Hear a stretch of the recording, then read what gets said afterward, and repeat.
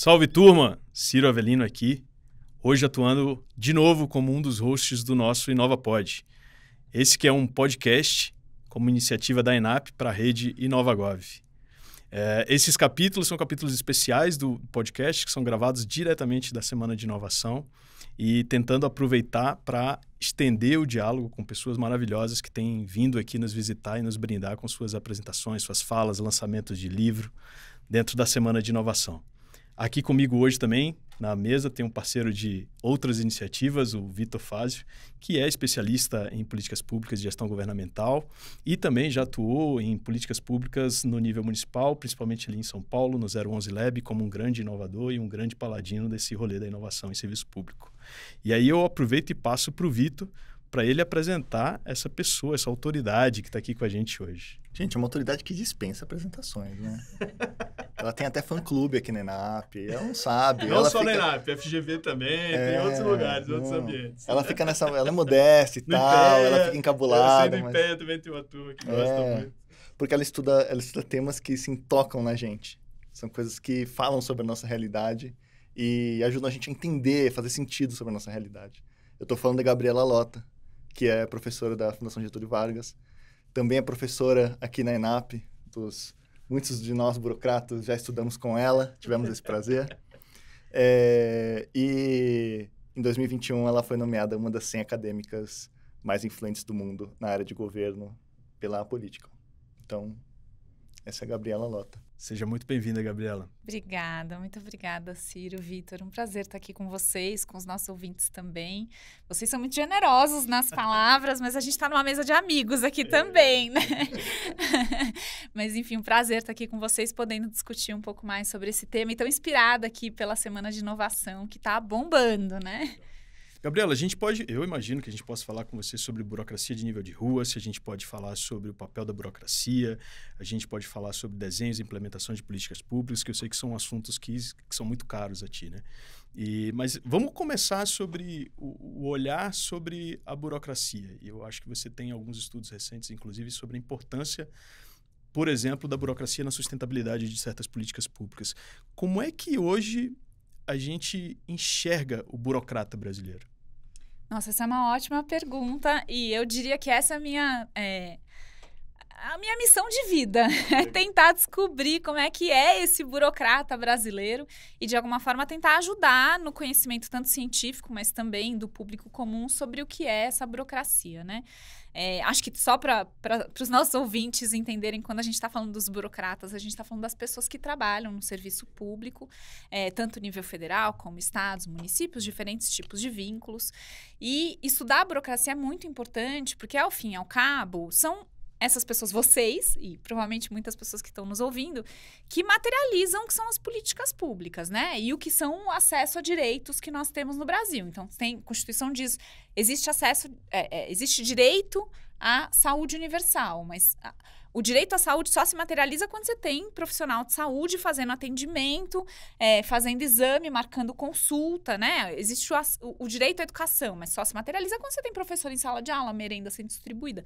E isso depende de pessoas, né? E o que eu tenho tentado estudar, assim, já faz 20 anos na minha trajetória eu me dedico a isso, é como é que essas pessoas tomam decisões, como é que elas materializam as políticas, como é que elas geram acesso ou exclusão e como é que a gente pode gerenciar melhor as pessoas para conseguir melhorar a qualidade das nossas políticas públicas. Então, quando você me pergunta como é a burocracia brasileira, é, para mim, o que eu tenho hoje é a burocracia brasileira extremamente heterogênea. A gente está falando de burocracias no plural. E desvendar essas burocracias no plural, eu acho que é um esforço de muitos anos, não só de pesquisa, mas também de trabalhos dentro do governo. Porque se a gente tem muito acesso a dados sobre a burocracia federal, eu não diria o mesmo sobre burocracias municipais e estaduais. A gente sabe, por exemplo, que na burocracia federal, que são várias burocracias, a gente vai ter uma variação de média salarial que chega às vezes a seis ou sete vezes. Mas a gente não tem a menor ideia de como é que essa variação acontece olhando para o país inteiro, porque tem muitos dados que simplesmente não estão disponíveis. Quer dizer, a gente tem dados RAIS, a gente tem alguns dados que a gente consegue compilar, mas quando a gente pega município, você tem muitos sistemas de contratação que são temporários, que são mais precários, e essas pessoas estão atuando na burocracia, estão materializando serviços públicos, mas elas são invisíveis para a compreensão do Estado sobre quem são as, essas pessoas. Então, acho que tem duas coisas aqui. Primeiro, são muitas burocracias, ela é muito diversa e heterogênea, e por isso que a gente precisa desvendar para construir melhor, melhores políticas de gestão. E a segunda é, tem muita coisa invisível ainda e que a gente simplesmente não sabe e que deveria saber justamente para conseguir melhorar o nosso sistema de gestão, liderança, enfim. É, é da sua fala bate muito forte para mim assim é simplista homo homogeneizar o serviço público, as pessoas que trabalham no, no serviço público, né? E, mu e, muitas vezes a gente se depara com esse tipo de situação onde você, de forma simplista, coloca, ah, é preciso uma reforma administrativa para enfim, vários verbos que são utilizados, profissionalizar, melhorar, dar mais eficiência à política pública, e a gente precisa entender que é um problema complexo, que tem vários caminhos que é possível fazer para eventualmente é, avançar na entrega de serviço público por parte dessas pessoas que fazem a burocracia. Mas e, e aí, é, Gabriela, conectando um pouco com o tema e a visão que a INAP traz muito forte, que é essa coisa da inovação, Quais os caminhos para abordar uma burocracia heterogênea num processo que eu costumo dizer assim, a inovação eu costumo dizer que é trazer a realidade do governo para a realidade do século XXI da sociedade. Né? A gente vive uma realidade de governo ainda muito pautado por regras e construções do século XIX e a gente vive um século XXI na nossa vida diária. Né? Então, como é que a gente faz para abordar essa burocracia heterogênea que, que você já viu de legal da gente abordando essa burocracia mais heterogênea para levar para uma abordagem mais adequada ao que é os valores da sociedade do século XXI, por exemplo? É, acho que a primeira coisa que eu queria dizer é que essa heterogeneidade ela também se materializa em, em qual século a burocracia está. Né? Eu já fiz entrevistas, por exemplo, em alguns órgãos públicos em que eu ouvia os servidores dizendo: a minha sensação é que a República ainda não chegou aqui. Então, esses servidores ainda trabalham no século XIX, provavelmente. E a gente conhece áreas de governo que são, assim, referência, né? Tem, tem ontem a palestra que a gente assistiu é, do professor David contando como, por exemplo, o PIX é uma experiência que está à frente de várias experiências, inclusive de países europeus. Então, assim, a gente tem burocracias vivendo no século XIX e a gente tem burocracias vivendo à frente do que já é o século XXI na, no norte global, né? Eu acho que isso é uma primeira coisa, essa heterogeneidade também Só acontece. um parêntese e um spoiler para quem está nos ouvindo, tem um capítulo que também foi gravado aqui na Semana de Inovação com o especialista da Índia, Raul Matan, eu gravei aqui com o Vitor e ele profetizou, inclusive, que o Pix pode suplantar o sistema indiano de pagamento eletrônico que é referência no mundo. Assim, a gente ficou impressionado. Ele falou: olha, vocês fizeram um negócio tão bem feito que é capaz que a gente vai adotar o Pix na, na Índia em detrimento do que nós já temos, que é uma referência mundial hoje. Né? É isso. Então, acho que essa heterogeneidade, ela também tem que ser considerada quando a gente fala do tema da inovação. É, isso é uma primeira coisa. Uma segunda coisa que eu queria pontuar, isso tem a ver com a, a minha fala de ontem na, na, na, palestra que a gente teve aqui. Assim, eu acho que a gente tem, em geral, uma visão de inovação, primeiro, de que a inovação é um processo de grandes revoluções e transformações. E a segunda é que a inovação ela acontece em uma equipe que está lá, ainda mais hoje em dia, né? O laboratório, né? O Lab, o Genova, seja qual for, que está ali Lab pensando. 011. Lab 011, está ali pensando grandes soluções inovadoras, enquanto o resto da burocracia está ali no marasmo, né? Então existe é, a galera que está lá fazendo o rame-rame, arroz com feijão, e tem os inovadores, né?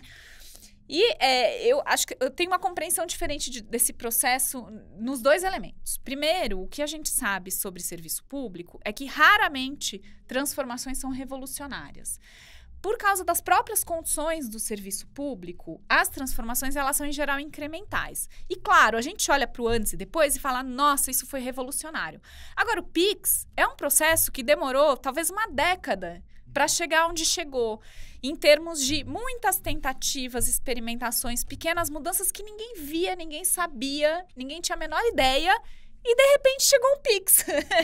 Mas o chegar um Pix não foi um processo de que sentou lá uma galera em cinco dias criar uma coisa nova, né? Você tem um processo de construção institucional que tem a ver com mudança legal de, procedimento, capacitação, que é, em geral, de longo prazo. E muitas pesquisas internacionais mostram isso. Em geral, as inovações no serviço público, elas são processuais, incrementais e de longo prazo, mesmo que a gente não saiba. Elas estão ali acontecendo. Essa é uma primeira coisa que eu tenho uma visão diferente do que, em geral, as pessoas têm. Uma segunda coisa acompanho sua visão, tá? Só Você queria... concorda comigo é, também. E, e, aí, acrescentando também, assim, às vezes a inovação acontece porque um contexto favorável a ela foi construído ao longo do tempo. Que para mim é o caso do Pix, por exemplo. É. O sistema financeiro brasileiro ele teve que ir se reinventando durante décadas até chegar num ponto onde você consegue implementar uma inovação como o Pix de forma relativamente rápida. É, e que ontem, na palestra, o David contou qual foi a grande sacada do Pix. Foi ele aproveitou a janela de oportunidade do auxílio emergencial, no qual o governo tinha que repassar dinheiro rápido, e falou: temos a solução. Mas a solução não foi inventada naquele momento. Não, com certeza. A solução já estava sendo gestada há uma década, né? Estou falando década, não sei quantos Sim. anos exatamente, mas há muitos anos. Então você tem essa coisa de que tem muita coisa acontecendo no bastidor até a inovação ela aparecer aparecer, muitas se perdem e algumas vão aparecer como porque elas aproveitam uma janela de oportunidade. Né? Acho que essa é uma primeira coisa que é importante a gente ter em mente. Então, processos revolucionários raramente vão dar certo, porque a própria estrutura da administração pública ela exige mudança incremental. Essa é uma primeira coisa. Uma segunda coisa é não tenho a menor dúvida da importância desses espaços que são voltados a pensar a inovação. Acho que temos que investir em mais laboratórios, em mais espaços de ciência comportamental. Temos que fazer isso. Mas isso não pode vir em detrimento de reconhecer que a inovação acontece todos os dias em todas as nossas organizações públicas e a gente não nomeia isso de inovação, uhum. né? E eu poderia aqui dar dezenas de exemplos, mas assim, quando um professor está em sala de aula e ele encontra uma situação com a qual ele não tem a menor ideia do que fazer e não existe protocolo, procedimento, material, ele inventa soluções. E inventar soluções significa inovar. Nós temos todos os dias milhões de profissionais na linha de frente dos serviços públicos que estão inovando porque eles estão inventando soluções para dar conta de um serviço que não tem recurso para fazer isso. Né? É, ou estão reparando, re, às vezes literalmente consertando equipamentos, procedimentos, estrutura. E, gente, isso é inovação também. Eu adoro uma página, ontem eu mostrei várias fotos na palestra, aquela página Estéticas da Burocracia. Nossa, da burocracia. É genial. Fantástico, ontem fantástico. eu trouxe várias fotos na minha apresentação de coisas que a gente olha e fala: nossa, mas isso é uma gambiarra. Mas é uma inovação. Gambiarras também são inovações. É um protótipo. É um é, protótipo, eu, gente. Eu, eu, fiz, eu fiz faculdade de design e eu tinha um professor que ele era colombiano e ele deu uma matéria pra gente que ele chamava design vernacular. Então, assim, depois que eu aprendi esse termo, eu não chamo gambiarra. Agora a gente dá um nome bonito. é, é design vernacular. É design vernacular. E aí a gente legitima, né? É. Então, todos os dias designs vernaculares, vernaculares acontecem no cotidiano das nossas organizações. E essas inovações, elas são inovações que podem ter resultados positivos, porque às vezes os professores inventam soluções e com isso a criança aprende. Mas também pode ter resultados negativos, porque às vezes as inovações elas excluem parcela da população, geram ineficiência, podem abrir espaço para viés, para corrupção, para tudo. A questão é, para mim, uma das questões fundamentais é a gente avançou muito em pensar, ou tem avançado, e a Semana de Inovação faz parte disso, em pensar esses processos de inovação mais proativos se eu puder chamar assim, do tipo laboratórios, em que a gente senta, pensa, tem metodologia. Mas eu acho que a gente avança muito pouco em pensar sistemas de gestão para transformar essas como é que você falou? Vernaculares? Designs vernaculares. Designs vernaculares. Inovações cotidianas, a criatividade, a gambiarra que acontece no, no cotidiano, em pensar isso como parte do sistema de inovação que deve ser gerenciado, estimulado quando é para o bem, sistematizado, escalado quando tem resultados bons. Quer dizer, eu acho que a gente não gerencia a criatividade cotidiana bem. E essa criatividade, ela acontece, vai continuar acontecendo, e ela pode nos levar a atingir resultado ou desvirtuar completamente o que deveria ser o serviço público. E eu acho que aí tem uma coisa de liderança para a gente pensar, que eu, é uma das minhas grandes disputas. Assim, nós temos que gerenciar a discricionariedade dos nossos burocratas. Porque discricionariedade é o espaço para inovação, é o espaço pra, do bem e do mal. Né? E se a gente não, não gerencia, no sentido de direcionar, dar princípios, capacitar para tomar melhores decisões, aprender com a inovação, é, tem, experimentar o que é legal e tentar escalar, a gente perde um monte de coisa legal que está acontecendo ou a gente spa abre espaço para um monte de coisa não legal que pode estar tá acontecendo. É dar autonomia ao burocrata, na, na visão ali, para eventualmente desapegar da norma, que é uma regra posta para um contexto de problema que talvez já esteja ultrapassado, se abraçar ao problema, que é o aprendizado do aluno, que é o atendimento à pessoa que está num pronto-socorro, e experimentar. E aí talvez a gente precise trazer esse conhecimento da experimentação, o Vitor sabe muito bem disso ali do, do, do 011 Lab e outras oportunidades, de repente trazer essa cultura da experimentação mais para a linha de frente, talvez. Totalmente. Só que isso, para mim, a experimentação ela tem que estar tá muito vinculada a um processo de construção de princípios e direcionamento para a experimentação. Fantástico. Porque, é, e isso eu falei ontem também, assim, se a gente pega grandes governos autoritários na história, eles foram profundamente inovadores. O nazismo foi muito inovador, inclusive em termos de gestão, da sua capacidade de, de criar alinhamento. Né? É, o, o, sistema de transporte público chileno foi todo construído na ditadura do Pinochet. Né? A gente pode ser muito inovador em governos autoritários, excludentes, racistas, né? É, e não é isso que a gente quer. Por isso que eu acho que esse espaço de experimentação ele tem que ser muito guiado por princípios que são princípios do Estado democrático de direito. A gente dá autonomia, mas você vai exercer essa autonomia pensando na inclusão, na humanização, na diversidade, na redução de desigualdades, no acesso a direitos. Isso tem que ser o seu princípio para a experimentação, para a criatividade. Deixa eu ver se eu entendi. Então, seria, seria algo como uh, no espaço onde a regra não é clara, né? ou onde há uma liberdade para decidir sobre a interpretação da situação a partir de diferentes regras, etc., você precisa ter uma densidade nesse espaço que é dada por algumas heurísticas, Exato. que são esses princípios. Exato. Faz sentido isso? É exatamente isso. É, e a boa gestão é a gestão que consegue alinhar esses princípios, essa heurística. Consegue ter um alinhamento, assim. Você faz o que você tiver que fazer para resolver o problema, mas quando você estiver resolvendo o problema, você sabe quais são os princípios que guiam a sua resolução, né? É, e você construir e alinhar em torno desses princípios tem a ver com capacitação, com, com sensibilização, com, sistemas de incentivo, nudge, assim por diante. Mas é um pouco construir uma gestão voltada à possibilidade de uma experimentação em prol do Estado democrático de direito. Estou resumindo Do bem-estar social. Do bem-estar social, da inclusão. Da redução das desigualdades. Exatamente. Bom, Gabriela, você me fez pensar agora com a sua resposta é, com uma intenção de identificar se na burocracia brasileira, e aí eu conheço um pouco da realidade da burocracia federal, nem tanto estadual e municipal, mas, uh, e aí o Vitor pode até de repente ajudar a gente a trazer um pouco essa perspectiva também. É, será que há na burocracia um viés da inovação sempre pautado pelo dito ou chamado eficiência do Estado, né? O quanto que a gente reduz de gastos e aumenta potencial receita do Estado sem olhar eventualmente para a eficácia do Estado, né? O quanto que ele está de fato reduzindo desigualdade, atuando no que é princípio do Estado. Será que existe esse viés? Será que é uma, uma coisa que a gente precisa trabalhar de repente no, no, nas abordagens inovadoras do Estado? Eu, é super provocativa a sua pergunta. Eu diria que sim, mas eu diria que é menos pela burocracia e muito mais pela lógica de gestão. Porque eu não acho que a burocracia por si só defende eficiência. Eu quero fazer com menos, eu quero cortar, eu quero ser mais produtiva.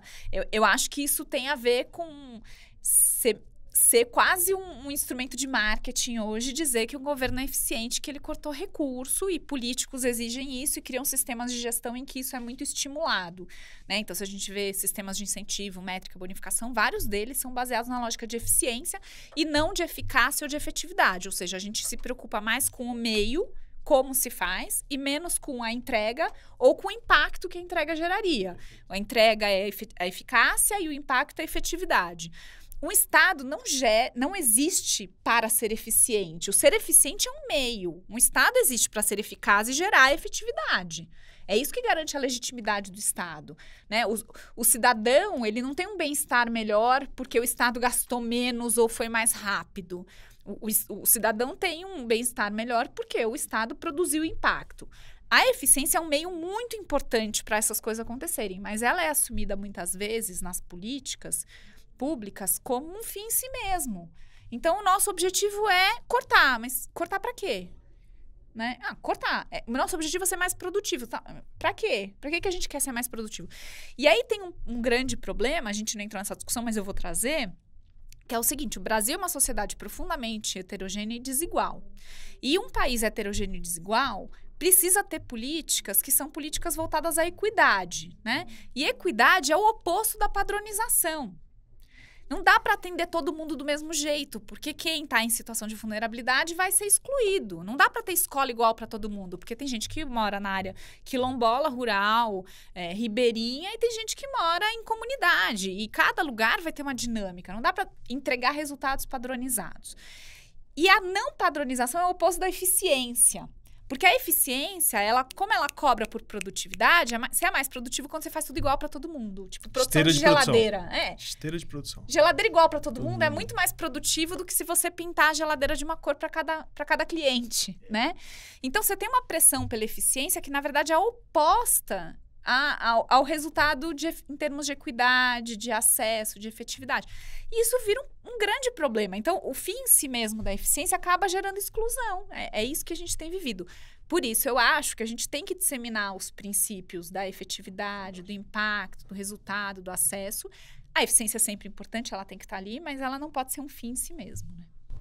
É, é muito interessante ouvir isso de você, porque eu acho, acho que como muitos de nós que somos membros de carreiras do Estado, a gente trabalha para governos progressistas, trabalha para governos conservadores, e a gente está cumprindo um papel ali de fazer com que as políticas públicas aconteçam, né? É, e dependendo do governo, a, a narrativa, né, o, é, os princípios pelos quais a liderança política eleita legitimamente é, conduz a gestão, eles variam. E é muito interessante essa conversa sobre eficiência, eficácia, porque, por exemplo, ano que vem temos eleições municipais. Né? É, em momentos de eleição, é muito importante que as pessoas que estão trabalhando nos governos, elas se organizem para garantir essa continuidade. Né? E quando se fala em eficiência e eficácia, é eficiência e eficácia, às vezes. Não é ou eficácia. Sim. Ou, às vezes, uma mesma ação, é, quando a gente olha para ela, olha para a realidade, começa a fazer sentido sobre o que está acontecendo, a gente vê que a gente pode falar sobre ela a partir da ótica da eficiência ou a partir da ótica da equidade. Né? Isso é importante que os gestores saibam, porque isso é um recurso que a gente tem para garantir a continuidade das políticas públicas. Adequar a forma como a gente enxerga e narra a realidade para que tanto, muitas vezes, governos mais progressistas ou mais conservadores entendam, a partir dos seus óculos, dos óculos que são mais relevantes da sua linha política, que aquilo é importante que continue. Né? Eu, eu, só, eu só queria aproveitar, queria te fazer uma pergunta. Antes que o Ciro, que o Ciro tá tomando, que você viu, né? Ele nem olha para mim. Ele nem olha para mim. É. É, sabe o que é, Gabi? Eu tô. Eu fiquei sete anos na prefeitura, né? De São Paulo. Agora tô voltando pro governo federal, tô aqui na ENAP. Né? Que é um lugar de referência no governo federal. E, e a diferença de cultura é chocante. Né? Toda a maneira como, como o dia a dia da- do governo funciona, do governo federal funciona, do governo e das prefeituras funciona é completamente diferente. Né? E a gente estava falando antes sobre essa sobre esse espaço de discricionalidade, né? de decisão do e que isso é importante, é importante que a gente olhe para isso, que a gente preencha esse espaço com princípios, né? para ajudar as pessoas a decidirem e usarem positivamente a discricionalidade, né? É, e eu sinto que eu sinto que a capacidade de, de preencher esse espaço em diferentes níveis de governo me parece que seja eh, o esforço necessário parece que é diferente por conta da proximidade com a realidade Sim. e a força que a realidade tem para vetorizar né, os nossos esforços e enfim priorizar as coisas e tal como é que você enxerga essas diferenças você que interage com a burocracia federal estadual municipal e, e teoriza sobre isso né? tem algo que, que você poderia compartilhar com a, com a gente sobre essas diferenças e enfim e nos ajudar a fazer sentido sobre essas realidades É, vamos, vamos ver se eu consigo, mas eu acho que sim. É, eu acho que tem duas grandes diferenças que são muito importantes quando a gente pensa na burocracia do governo federal e do resto. Então, a- mesmo no, federal é muito heterogêneo, mas a- o grau de, de diferença de distância entre o federal e estadual e municipal é gigantesco. E eu acho que em duas coisas, em duas dimensões. A primeira dimensão é uma dimensão do que a gente chama de capacidades estatais. Infelizmente, os municípios, em geral, municípios, são, eles têm baixa capacidade estatal no sentido de muitos municípios, não é o caso tanto de São Paulo, mas é de, dos pequenos municípios e dos médios, ter poucos servidores públicos concursados, com estabilidade, que tem formação, até porque nós são 5.570 municípios, né? É muito grande. Alguns municípios muito pequenininhos, é muito difícil nesses municípios você ter uma burocracia qualificada e estável para construir capacidade ao longo do tempo. E o que a gente sabe é que a capacidade de decisão depende da capacidade burocrática. Ou seja, você conseguir tomar decisões, que é o espaço da, da, autonomia, você conseguir tomar decisões, pressupõe que você tem conhecimento, expertise, legitimidade, reputação. Senão, as suas decisões ficam limitadas. Né? Me peçam, por exemplo, para fazer uma receita que eu nunca fiz ou não conheci, não, não sei os ingredientes. A minha capacidade de executar aquilo bem é muito pequena. Mas se pedir para um chefe que tem expertise para fazer, para ele vai ser muito fácil.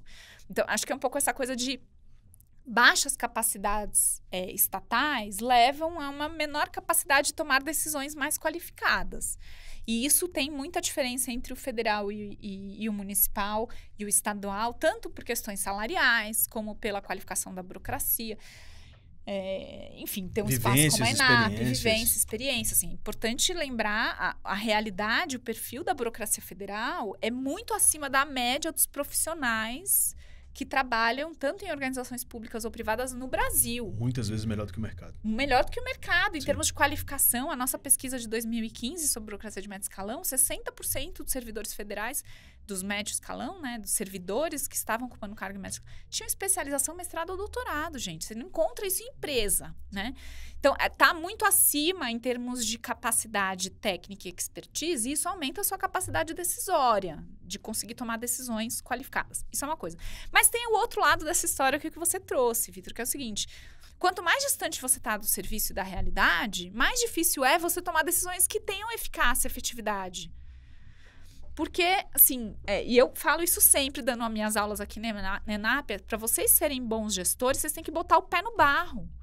Como é que eu que estou em Brasília, pensando portarias do Ministério da Saúde... O grande Olimpo do Ministério, da, da, da esplanada dos ministérios. É isso, é um Olimpo. Completamente isolado e, e, quase que estéreo, né? É, exatamente. Que, assim, pode ter decisões lindas tecnicamente, mas que podem ser inviáveis quando chega lá na realidade dos municípios. E aí o servidor público pega aquela decisão quando ele está lá no município e fala, meu Deus, mas o que, que eu faço com isso? Não tem o menor sentido na minha realidade fazer isso. Por quê? Porque as pessoas daqui, elas não representam a sociedade brasileira, né? Elas não estão em conexão. Assim, uma das coisas mais legais que eu já fiz na ENAP foi um programa de imersão em que a gente colocava servidores federais para passar uma temporada no serviço que eles gerenciavam. Tipo, servidor do Ministério da Saúde vai passar uma semana sentado numa sala de espera da Unidade Básica de Saúde para ver o que é a realidade do SUS lá Gente, na Gente, não percam os cursos da professora Gabriela Lota na ENAP. Por favor, acompanhe na página da ENAP, tem vários cursos maravilhosos. obrigada, obrigada. Vocês são muito generosos. Mas eu acho que tem essa coisa da desconexão. Então, embora as pessoas que estão aqui no governo federal consigam tomar decisões tecnicamente melhores, quem está lá na ponta vai lidar com uma realidade, ter um certo tipo de informação que nunca chega aqui em cima. Eu tô falando uma coisa que é super paradoxal, no uhum. fundo, né? Mas é Não, mas isso. esse é o desafio. E, e esse é o desafio. E o desafio que volta desde pensar reformas gerenciais. Então, como é que eu penso uma reforma administrativa para essa diversidade e heterogeneidade tão grande? Até pensar práticas de gestão cotidiana, porque pensar inovação aqui é muito diferente de pensar inovação lá no município, nesse sentido. Pois é, tem, tem, um, tem um caso que, enfim, um artigo seu, inclusive, sobre o, sobre o caso bastante conhecido, sobre o caso das, é, dos agentes comunitários de saúde, né? É, e quando você fala sobre é, disseminar essas capacidades, até capacidades estatais, inclusive de experimentar, que do meu ponto de vista tem a ver muito com capacidade de aprender, uhum. né? A partir da prática, né? Eu lembro sempre desse caso, né? É, e aí eu queria saber, assim, você vê... Uh, a gente está no governo federal agora aqui, né? Estamos aqui conversando com o governo federal. Bom, precisamos pensar é, orientações, grandes estratégias que possam ajudar as pessoas a orientar o seu comportamento, né? E, e melhorar a qualidade dos serviços, né? Do ponto de vista da eficácia. Você vê, uh, a partir desse tipo de caso, dos agentes comunitários de saúde, onde as pessoas se organizaram para aprender no dia a dia, né? É, a possibilidade de difusão, algo que a gente possa aprender aí e usar como base para criar essas condições para as pessoas tomarem decisões melhores, aprendendo com a realidade? Sim. Então, o caso dos agentes comunitários é um ótimo caso para falar o que deu certo e o que não deu certo, as duas coisas. Porque ele é um caso, é, assim, para quem não conhece, os agentes comunitários são profissionais que trabalham em equipes de saúde da família, eles moram na comunidade onde eles trabalham e eles têm que fazer acompanhamento domiciliar. E a lei que rege o trabalho dos agentes comunitários é profundamente ambígua. Ela tem, acho que, cinco ou seis grandes diretrizes do que um agente comunitário faz, que são, assim, promover educação em saúde. É nesse tipo. E qualquer coisa cabe como educação em saúde, né? Eu fiz a minha tese de doutorado sobre eles, fiz a etnografia, acompanhei o trabalho e eu mapeei 237 práticas diferentes que eles faziam nas casas. Desde ajudar a cozinhar, varrer a casa, até fazer curativo e indicar medicina. É, é, remédio. E nenhuma dessas estava regulamentada, propriamente dita. São coisas que eles vão inovando e inventando na medida em que eles encontram uma, um, um, problema. Eles estão lá na casa de uma mulher que acabou de parir, a casa tá toda suja. Vou varrer a casa. Vou varrer a casa. É, um, é, um, é uma ação de promoção da saúde. É uma ação. Então, de, acho que é, Sim, né? É, é, é. Dá para ser interpretado Abraçou o problema assim. do usuário. Exatamente. Só que uma das coisas que começou a acontecer é que o exemplo de varrer a casa é um exemplo que melhora a qualidade de vida daquela usuária, mas também podem acontecer casos, como por exemplo, eu já vi, é, de agentes comunitários exercerem o seu papel de vizinho para fofocar, vazar informação, né? Ou pressionar, dizendo se você não fizer isso, eu vou contar para o seu pai. Extrapola. Extrapola, né? E é um problema, né? É, que, que o Ministério da Saúde tem tentado fazer desde então? Não só o Ministério, na verdade, tem um, um, conjunto de atores e os próprios sindicatos e associações dos agentes comunitários. Eles têm tentado profissionalizar ao longo do tempo a atuação dos agentes comunitários. E essa profissionalização ela passou entre outras coisas, por garantia de concurso público. Eles aprovaram, então, hoje a gente comunitário tem que ser concursado, você tem regras de, de contratação muito mais estáveis e melhores, processos seletivos, mas também passou por criar um programa de formação, que hoje vai ser um ensino técnico, salvo engano, ofertado pela Fiocruz, é, que vai ser obrigatório, porque desde 2000 e, desde a pandemia, desde 2020, os agentes comunitários começaram a ser considerados profissionais de saúde. Eles não eram até então. Jura? Juro. Eles conseguiram aprovar uma lei. Primeiro, eles entram num, numa regulamentação de 2020, na, junto com outras, e depois eles conseguem aprovar a lei, acho que é em 2021, de aprovação. Agora, agente comunitário é um profissional de saúde. É muito louco, né? A profissão existe há 20 anos. É, então, agora ele é um profissional de saúde. E ao virar profissional de saúde, ele tem que ter uma formação específica para ser um profissional de saúde. E aí a Fiocruz está, junto com outros atores, construindo e fazendo esse curso. E aí é muito legal, porque o que, que esse curso tem feito? Ele tem disseminar, tudo bem, a gente não vai regulamentar tudo que você vai fazer, porque é muita coisa e você tem que ser capaz de entrar E se não casa, mata a inovação? Você mata inovação. E você não sabe se uma casa vai estar tá suja ou limpa, se a outra vai ter. Você Sim. não sabe. Então, você tem que tomar a decisão. O que, que a gente vai fazer é te formar para você tomar melhores decisões. Diante da incerteza que você vai encontrar no campo que faz parte da natureza do trabalho. Sim. Então não é decidir por você, não é antecipar todas as situações, mas é te dar instrumentalizar te com instru... técnicas de experimentação. Exatamente, para que a experimentação ela seja voltada a princípios. Ou seja, é aquilo tudo que eu estava falando. E aí em paralelo você cria sistemas, porque tem uma outra coisa importante disso que que uma das coisas que você falou, você não falou isso, mas eu vou puxar por aí. Vitor, que é o seguinte: a burocracia, é, isso Weber já dizia mais 100 anos atrás, ela é uma máquina de desumanização. Porque todos os dias a gente vai trabalhar com coisas muito difíceis, com escassez de recurso. Você tá me deixando triste, Gabriel. Não, mas eu vou falar o lado bom. é, é uma máquina de desumanização, é uma máquina de racionalização, né? Quem tá no governo federal, pior ainda, porque se, nem o povo vocês não estão vendo, né? Quem tá lá no município, que tá vendo o povo, não consegue resolver o problema de todo mundo. E é muito difícil você todo dia trabalhar e se sentir frustrado, né? E qual é o mecanismo para lidar com isso? É desumanizar, racionalizar, né? Só que a desumanização e a racionalização podem gerar eficiência, mas geram inefetividade, geram baixa equidade, geram desumanização de serviço, tem uma série de problemas. O que, que a gente tem que fazer? Isso é uma coisa que tem acontecido no SUS e maravilhosamente. Isso deveria acontecer em todos os serviços públicos, não só na ponta, mas aqui também. a gente tem que o tempo inteiro trabalhar com sistemas de gerar reflexividade na burocracia. Que é a reumanização. Assim, você vai fazer todos os dias a mesma coisa e chega um momento que você vira uma máquina. O que, que a gente precisa fazer? Um gestor precisa sentar, um líder precisa sentar com a sua equipe e falar: tira o modo máquina e vamos pensar o que a gente faz. Vamos refletir. Para que, que a gente faz isso? Para quem a gente faz isso? Né? E você tem um exemplo legal sobre isso, da razoabilidade que você pode contar para os nossos ouvintes, de como é que você faz isso com a sua equipe.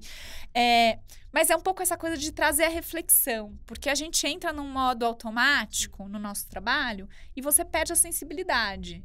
Cabe à gestão retomar a sensibilidade. Reforçar a visão crítica. Reforçar a visão crítica. Lembrar as pessoas por que, que elas fazem o que elas fazem e em nome de quem que elas fazem, né? Você não é quer contar o interessante. seu caso? Não, eu conto, eu conto. Porque eu- muita gente não sabe, sou formado em Direito, né? É, uma década atrás, pelo menos. É, e tem uma, tem uma coisa que os- o pessoal do Direito Administrativo fala sobre a discricionalidade como se fosse assim, um bicho é, odioso, né? Porque dentro da lógica do direito, você tá, fica buscando completude, né? Coerência, completude e tal. Mas razoabilidade é algo que pode ser trabalhado com duas perguntas, né? Primeiro, é, se eu fizer isso, isso que eu, isso que eu quero fazer, se eu fizer, leva ao resultado que eu pretendo, né? Que é adequação. Sim, meios e fins, né? É, Gera impacto social, Tal- gera tal equidade. coisa é adequada para resolver o problema? Um, né? Dois, tal coisa é necessária para eu resolver o problema? Em que sentido? Tem uma alternativa que custe menos, que eh, gere mais resultados, que restrinja menos direitos de outras pessoas? né? Essa é uma reflexão super legal para trabalhar esses momentos de, esses espaços de decisão, né? Mas é- isso que você fala me toca de eh, criar espaços para refletir Sim. no dia a dia da gestão, né? E, você- e a forma como você coloca me parece que é um pouco assim, me parece que é um pouco o papel das lideranças dentro do governo, né? Total. Total. Criar esses espaços de reflexão É. e visão crítica. Ah, bom. Aí eu já recebi algumas plaquinhas da nossa equipe técnica que já nos avisaram de que, apesar de, de, de ter muito mais para aprofundar com a professora Gabriela aqui, é, eu vou puxar uma última pergunta, Vitor, se você me permitir. Não sei se você tem alguma A sua outra equipe te intervenção. permitiu? É, é. Uma última pergunta, e ela, é- ela ela é relativamente simples também, Gabriela. Talvez a resposta não, não, não possa ser tão simples. É, é, no manifesto da Semana de Inovação 2023 tem uma frase que é muito importante, que ela diz que a gente tem que é, reconectar as pessoas para reconstruir um país comprometido com as pessoas e com a democracia. Que é um pouco disso que a gente está falando, da, da eficácia do Estado e, e da efetividade do Estado. E ela, o manifesto coloca isso como a urgência da gente construir isso. E aí eu transponho um pouco essa pergunta para te fazer a pergunta assim, na, na visão da Gabriela, que é uma grande estudiosa e acadêmica da burocracia, das pessoas que fazem a burocracia, o que que urge no Estado brasileiro? Se você tivesse que escolher algo que seja a grande urgência do Estado brasileiro. São muitas urgências, mas eu vou, vou fazer um exercício de escolher uma só aqui, porque que está mais conectada com tudo que a gente fez. Para mim, acho que o grande desafio para o futuro do Estado brasileiro é a gente construir o que eu tenho chamado de etos burocrático republicano. E que tem a ver com tudo que a gente estava discutindo. O que, que é isso? É nós termos servidores, os que estão hoje, os que vão ser contratados futuramente, que sejam super conectados com a ética do servir, com a função do trabalho deles, que é trabalhar numa república, entregar serviço público de qualidade, que defendam a democracia e os princípios constitucionais por dentro do Estado. né? Eu acho que a gente precisa criar melhores práticas de gestão e depois de, eh, de recrutamento, de seleção, formação e assim por diante, em que a gente o tempo inteiro consiga fazer esse exercício de reconectar o servidor público com o que é o seu papel num Estado democrático de direito, tanto em termos da democracia como em termos dos direitos. É, eu, eu acho, para mim, este é o grande desafio. E ele vai nortear todas as áreas que a gente puder imaginar que estão vinculadas à gestão. Como eu falei, desde o concurso até avaliação de desempenho, até práticas reflexivas cotidianas, e assim, carreiras e assim por diante. Eu acho que, para mim, esse é o grande. A gente precisa ter cada vez mais servidores como vocês e outros que eu estudo e que eu super admiro, que estão dentro da administração pública, mas sabem qual é a sua função na sociedade. É, eu, eu, tinha, eu, tinha, ficado triste porque ela falou da, da, da, burocracia como uma máquina de desumanização, mas com essa fala agora eu saio feliz desse tá podcast. Bem, eu falei é, é, porque, é porque isso, isso que você fala, eu acho que é, é uma reconexão, mas não é uma reconexão racional. É, não. Apenas. Não. A, a racionalização é importante. A gente entender, fazer sentido sobre as coisas, dando nome para elas, né? Organizando a realidade. Mas, cara, se conectar emocionalmente com, com o nosso trabalho, é. eu sinto, assim, pela experiência, pela experiência que eu vejo com os meus colegas e tal, é muito importante para a gente conseguir ter resiliência, é. né? Para realizar as transformações que vão ser feitas, né? É muito bom ouvir isso de você. É. E é. por isso essa coisa de ter que ter conexão com a sociedade o tempo inteiro, sabe? Ir lá de tempos em tempos, vai ver a cara das pessoas para quem você está pensando política pública. Porque isso ajuda a fazer essa reconexão. Gente, é, assim, com certeza não é tudo que a gente pode ah, eu, explorar eu, com a professora Gabriela. Eu, eu, eu, tô, eu tô frustrado, porque assim, 30 minutos, cara, é, é muito pouco. É, é, o que temos hoje. Tá. Mas não precisa ser o que temos para sempre. A gente pode convidar a professora Gabriela para voltar mais vezes. O Inova pode estar tá retomando os movimentos. A gente vai gravar novas, novos capítulos. E acho que a Gabriela está sempre muito próxima da gente aqui. A gente pode estender, de repente, fazer, fazer umas versões especiais com duas horas, três horas de duração. Eu já estou olhando para a produção aqui e a gente tentando construir esse processo. A técnica fica me olhando ali. Ela... Ah, eu Deus, vou cara adorar. a gente comigo. pode fazer, de repente, até num ambiente mais descontraído. De repente, a gente vai ali para o ambiente que agora já começou até um sambinha aqui no meio da Semana de Inovação. A gente está no momento em que está sendo apresentado um chorinho lá na Semana de Inovação. Queria fazer uma recomendação é, para os servidores e para as servidoras. É, busquem os cursos da, da Gabriela. Artigos. artigos, etc. A Gabriela, além de escrever e pesquisa, fazer pesquisas muito interessantes, ela é muito boa professora. Tem cursos com sala de aula invertida, com recursos audiovisuais, etc. Coisas que é... São inovadoras, Nossa, são incríveis. É. Então, busquem, busquem. E o tema, e esse tema de, de implementação de política pública, esse olhar a partir do indivíduo, isso é muito importante para a gente se reconectar com, uh, com o poder público, com o governo, entender que o governo são pessoas que, ademais de seguir regras, elas vivem e sentem a realidade e, se, e reagem a ela. Né? Participações da professora Gabriela na Semana de Inovação vão ficar disponíveis, inclusive no canal da INAP, no YouTube. Recomendo, valido. Ela comentou aqui de algumas das telas que ela apresentou, mas recomendo que quem estiver nos ouvindo hoje, depois, a qualquer momento, também pode procurar esse material no uh, canal da INAP. Gente, esse foi mais um capítulo especial do InovaPod, o podcast de inovação do setor público, feito diretamente da Semana de Inovação 2023. Hoje, mais uma vez apresentado aqui por mim, na grandíssima companhia do meu amigo Vitor Fazio, e ouvindo, escutando e aprendendo muito com a professora Gabriela Lota. Uh, tudo isso gravado diretamente aqui da Semana de Inovação 2023, nos estúdios da Escola Nacional de Administração Pública, ENAP. Gente, muito obrigado e até o próximo capítulo.